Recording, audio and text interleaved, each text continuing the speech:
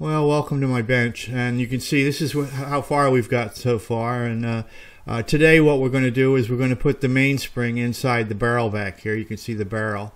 Uh, put a mainspring inside that barrel. It's a pretty hefty mainspring, uh, and we'll use a Webster winder to get it in there.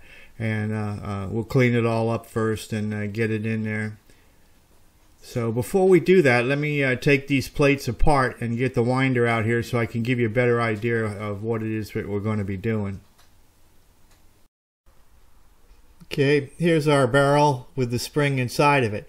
Of course, I did not, uh, I put the spring in there, but I got the spring uh, wound up and uh, I put the arbor inside of it and uh, then we uh, put it in a winder which winds it up and makes it smaller and then I took this uh, bail off of it so that it was loose and then we uh, let it totally loose and we'll clean it. And then we'll tighten it back up again and we'll put this sleeve on it. We'll leave about two inches out of that little slot there with a hole in the uh, so that we can hook it onto the hook in the barrel. Uh, see there's the hook right there. And then we'll just turn it a little bit till that hook grabs it and then tighten it back up and take the sleeve off and it'll be inside the barrel. And that's uh, what I got planned for today. Uh, and one other thing here we want to look at is uh, how do you know when you got the right size spring to the right size barrel? The volume of the spring to the volume the area that the barrel has. Well you want the spring to be at about 50% of the area when it's tightened and, and the other 50% when it's loosened so that you can get the full seven days out of it well, you can figure that out mathematically, but W.R. Smith came up with a tool to measure it. And uh, at the end of the video, uh, we're going to make this tool and I'll show you how it works and it, will help it helps uh, measure to make sure that you got the barrel size and the spring size uh, together so that they work correctly. There's the mainspring as I received it, and it's all coiled up there and, and the baling wire on it. And uh, as you can see on the inside coil there, uh, we need that's where we're going to need to put our hook. So they've annealed the end of the, the first few inches on there are annealed where the hole is, so that you can go in with these pliers and kind of uh, uh, bend it a little bit to make sure that the hook on your uh, uh your arbor is going to grab that hook, uh, grab that hole well. So uh, let's go ahead and uh, get that arbor and uh, see what we got here.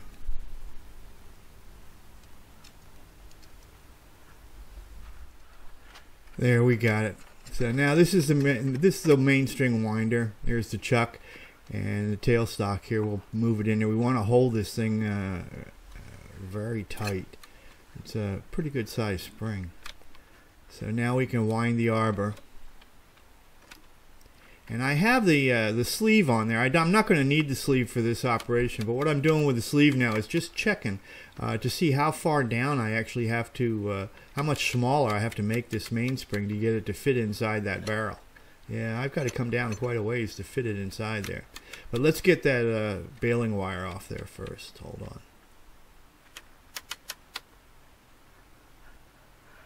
Before I uh, get a lot of pressure on here, I want to make sure I got the ratchet set up right.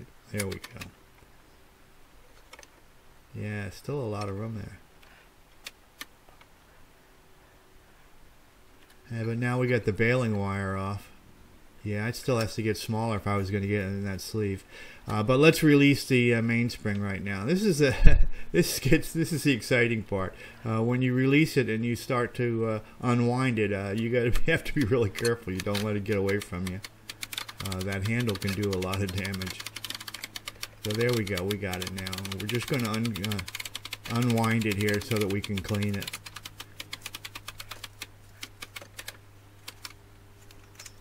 Alright, there we go. Let's get it off of there.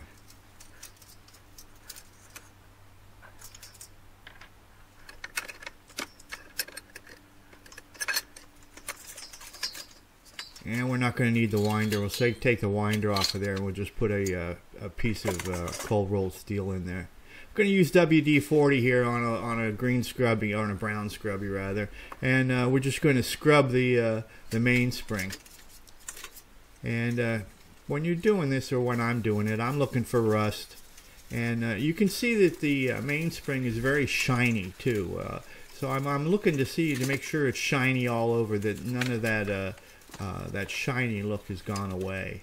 Uh, if I find rust, I throw the spring away and, and buy a new one. but this is a new spring, so we all it should be able to clean it. Now we're at the end down here, and so we do a little bit of cleaning here, and I run back and forth at least two times. Uh, on this spring, I'm only going to have to do it twice. Uh, it's pretty well, uh, pretty clean. I'm running at about three times speed, so uh, uh, I've sped this up quite a bit. But you get an idea of uh, what I'm doing, and I'm, I'm watching what watching what the spring looks like. And there we go. Now our WD-40 is only clean, only for cleaning the spring.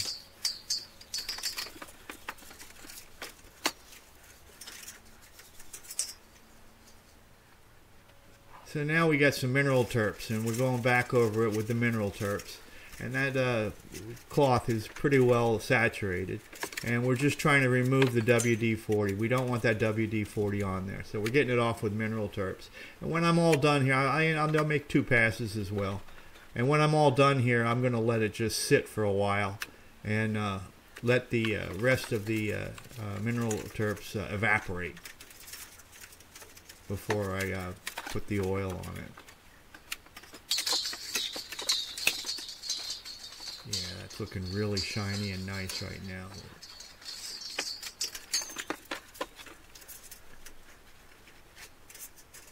Alright, a little bit later, I've got red hydraulic fluid on here.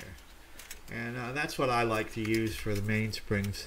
Um, if you go on forums and stuff like that, almost every watchmaker has their own little concoction that they like for their uh, for lubricating mainsprings in their own way of doing it and stuff. Uh, this works for me and I like it. Uh, and uh, once again, I'll I'll do it at least two times. But this mainspring is looking really, really, really good. So uh, just one more time should be plenty. You never want to make sure you have so much oil that's coming out the can.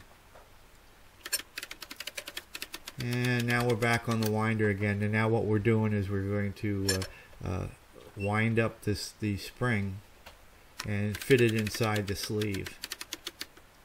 And uh, you always want to wear plenty of eye protection and uh, gloves when you're doing this. Uh, I always do anyway.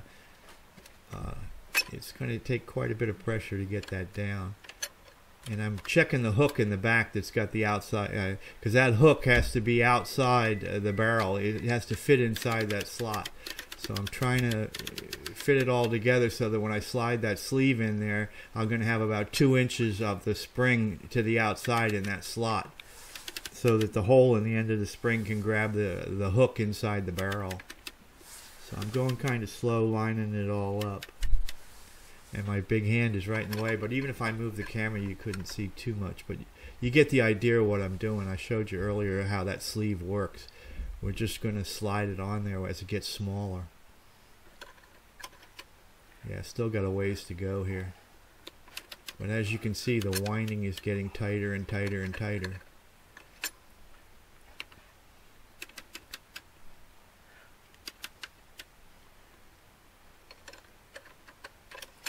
Yeah, and that's still more.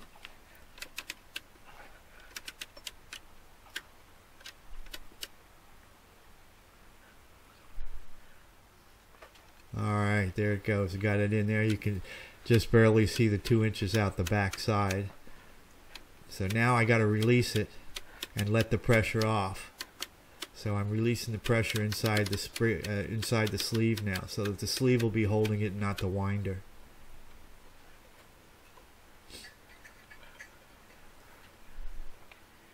And there we go. So now we're going to take the tailstock off here. We don't need that anymore. And we're going to slide the barrel over top it here with the hook up at the top. And we'll find where that hook will slide nicely right behind the uh, the sleeve. And uh, it takes you a minute. Once you find it it slides and then it just kind of clicks right in there. There you go and now we'll just turn it a little bit until we can feel that, that, that the hook has grabbed the mainspring. Uh, the hook on the barrel has grabbed the mainspring. There we go. And one thing I'm noticing right now is I can't hold this with just my hand, so this is a little bit of a shelv shelving uh, top. It's made out of uh, rubber, and uh, I can't hold it with that either. It's just slipping in my hand. Mm, I'm gonna have to come up with something better than that. Yeah, I can't hold it. Uh, I replaced a, uh, uh, a, a, a, tube in a, in a wheelbarrow uh, wheel. So I just cut a piece of the old tube out. Yeah, that's holding it really good. I got it now. So now I'm tightening it all up because I got to get that sleeve off of there. And so I'm tightening it all up. And uh, checking every once in a while to see if I can get that sleeve out.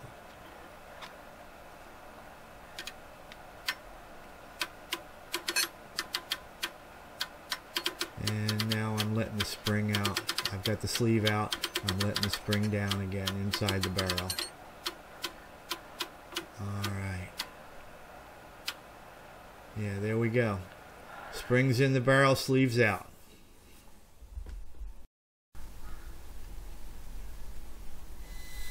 Alright, we're at the bandsaw. We're gonna we're just cutting out the brass that we need to make this uh, uh, tool, the mainspring tool. And I'm going to be using a lot of the same uh, methods that I used in other videos. So it's going to go kind of fast, so I'm going to go quickly on this. Now we're at the drill press and I'm using a stone there to relieve the back side so I have zero rake angle on these uh, bits because I'm going to be cutting brass and brass has a tendency to want to catch. So I'm just uh, slightly uh, stoning the back side of the cutting edge to get that zero rake. Alright, let's drill some holes. There we go. Yeah, no lift. That's good. Okay. You just need to sharpen it, uh, just shine it up a little bit on the back side. Now what we're going to do is hold these two together. So I'm tapping this side. And I put two screws in so the two pieces are held together with these screws. And I've got a, a file here and I'm just going to take off the back side of these screws. Uh, make them flush with the brass. And here's the belt sander. With the belt sander, I take it down to the line as best I can. Uh, just down to the line.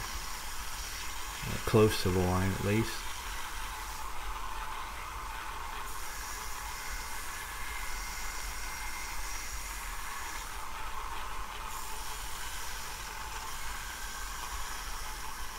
And now we're over at the die filer.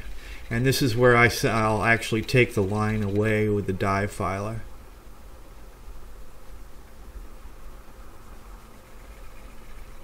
Make sure my two pieces are matched up nicely.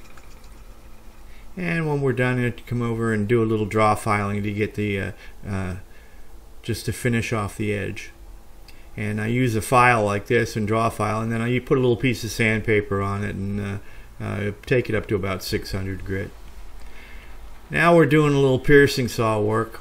And uh, if you've uh, uh, been watching you, I, have got another video out that'll tell you a lot more about how I do the, uh, the piercing saw work. Uh, it's called uh, Crossing Out the Wheels. And it's I'll cross out a couple of the wheels that I made for this clock. but the piercing saw is a fun skill. Now once I'm done, now I'm back to the die filer and I've got a, a rough cut file in there, and I'm just going to bring it down to the to the to the line, and uh, it'll get me into the corners to a bit. But we're going to put a finer file on there, uh, a, uh, a triangular file, and that'll get us right into the corners and clean it all up nicely. But uh, this is the rough file.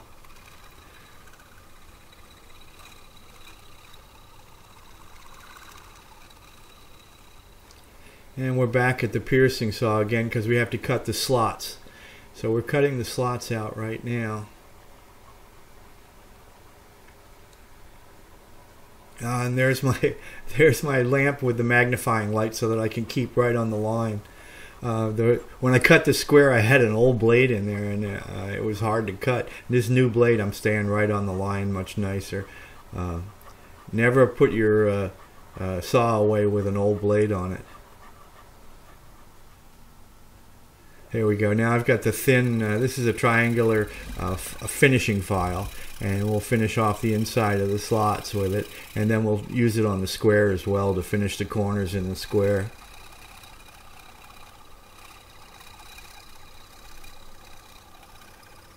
Just want to finish it off enough so there's not a lot of draw filing that need necessary. And now we're ready. We've got the, uh, we're taking the uh, Dykem off and get a look at what we've got here.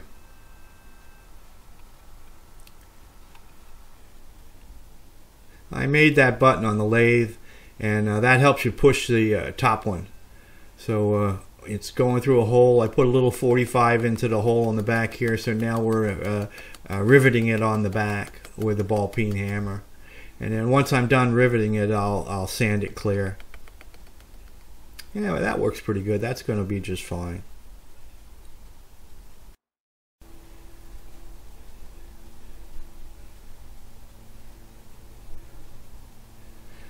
Alright, so uh, there's the mainspring in the barrel. And you bring this uh, top part over and put it right up against the arbor.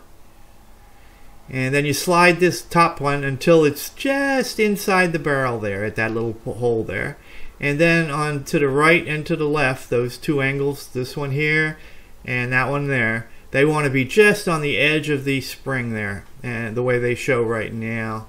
And uh, and that's how the uh, tool works if this tool interests you uh, uh you want to learn more about it or how to make it. Uh, the model engineer, April 15th, 1983, was uh, when uh, W.R. Smith uh, first published on it. But you can also find it inside his uh, book on how to make a skeleton clock, which is the one that we're using to uh, make this clock right now. And all the information you need necessary to make the tool is in this is in this book right here. This book here he's put out is a, a, uh, book full of uh, different magazine articles that he wrote. And he wrote one, of course, on the mainspring tool. And he includes all the mathematics that go into it. So if you're interested in uh, following the math, this is really the best one. This is, uh, this is the one I enjoyed uh, the most. And then I just recently got this one. This is one of his new ones. Uh, it's his family put it out, I guess and then once again, it's a lot of uh, uh, his magazine articles and uh, that have appeared in other his volumes. But the uh, mainspring tool in this one, uh, he's come up with a Englishman who came up with a different version of it that's a little easier to make. And I made one, and um, you know, it was okay. It's a little plastic uh, thing you can make, but my original tool was made out of aluminum, so I really like it, so I decided to make it over again in brass for this uh, video. So uh, anyway, uh, this one has a good article on it as well. And of course, if you want to do more, Laurie Penman, his book here has uh, more on the math of how to do it. He doesn't use the same uh, uh, tool. But if you're interested in the math or somebody else's look at how to do this, Laurie Penman's book is a good one to go. Well, that one that just about finishes this episode. And on the next one, we'll build this ratchet, and then we'll build the click, and we'll build the uh, click screw here. Uh, the ratchet is gravity fed, so there's no click spring. I want to thank you all for watching, and uh, sure hope that you'll uh, come back and uh, see the next one.